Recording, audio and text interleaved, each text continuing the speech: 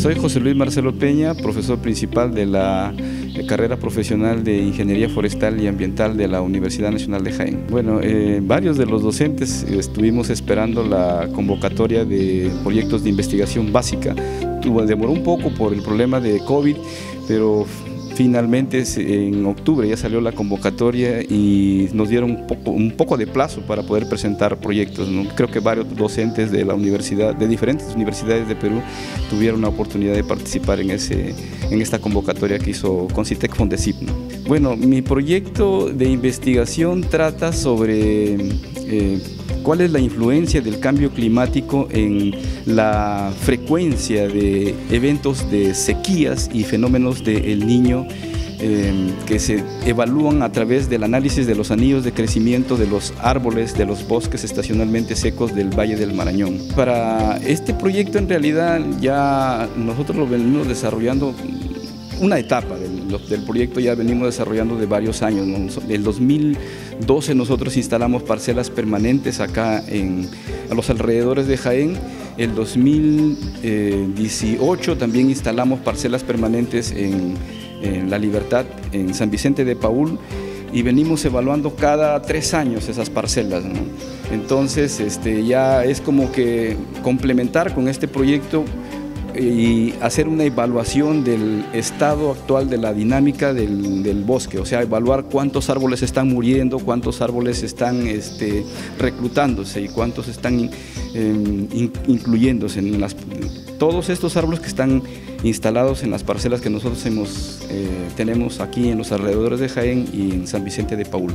Y la otra parte es nueva, ¿no? eso es eh, una eh, especialidad que yo desarrollé durante mis estudios de doctorado, el análisis de dendrocronología. Ahí hacemos estudios, de, hacemos obtención de leños con método no destructivo y eh, el leño que obtenemos eh, pasa por varios procesos y allí leemos los anillos de crecimiento. Entonces sabemos desde que el árbol se instaló en el bosque, cómo es que él se ha ido desarrollando. Hay algunos árboles que tienen edades eh, de 40, 50 años, pero también hay árboles que pueden pasar los 200 años. Entonces nosotros haciendo la observación de los anillos de crecimiento podemos hacer varias inferencias y de eso también trata el proyecto.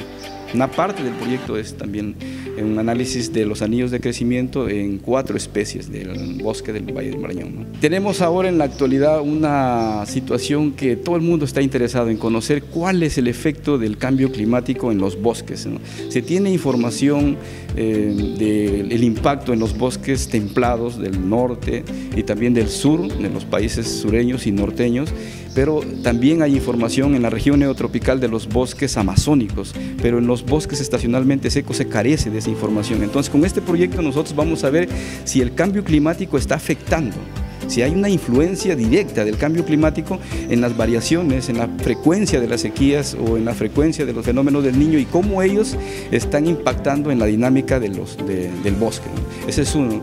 El otro que podríamos decir también es, bueno, este proyecto va a dar la oportunidad para que estudiantes y docentes eh, mejoren sus capacidades, manejen herramientas técnicas, va a dar la oportunidad de escribir artículos científicos.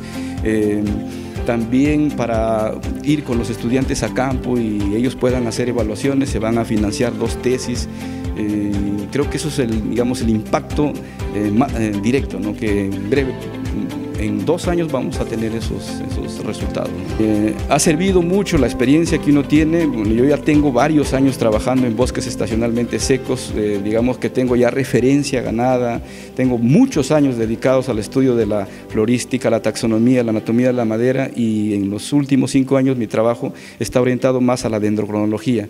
Entonces eso también ayuda a dar soporte y confianza al Fondesi para asignar los fondos. Los docentes saben que el, el Concitec y el Fondesi tiene un cronograma de actividades y todos son proyectos, estímulos, viajes, viajes para capacitación. Hay una cantidad enorme de, posibilidades para que los docentes se capaciten, hagan estudios de doctorado, también este, em, presenten sus proyectos de investigación que pueden ser avanzados, multidisciplinarios o también este, de semilla, proyectos de investigación básica o proyectos de investigación aplicada. Yo creo que solamente es cuestión de que los docentes eh, tengan una idea, una idea de un proyecto, afinen la idea de ese proyecto, busquen colegas que tienen experiencia en otras universidades, no necesariamente en Perú, también pueden buscar docentes o profesionales que trabajan en cualquier parte del mundo que están eh, interesados en colaborar en la investigación con la universidad. Entonces solamente es cuestión de tener una idea de proyecto,